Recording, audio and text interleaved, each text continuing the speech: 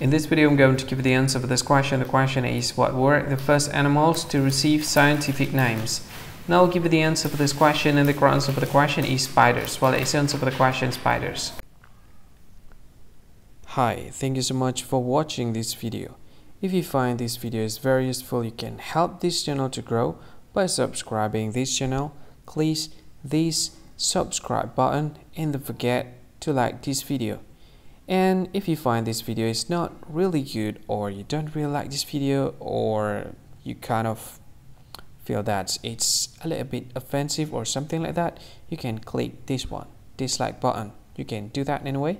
And if you want to share this video with your friend, you can share it by clicking this share button and you can share it to any any social media that you wish that is currently available at this time like Facebook, Twitter, LinkedIn, and many others.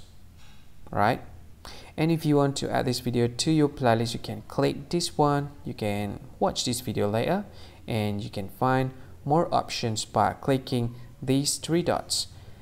And yeah, don't forget to subscribe. I think that's all of it. Thank you so much for watching this video and see you again in another video. Bye bye. See you again.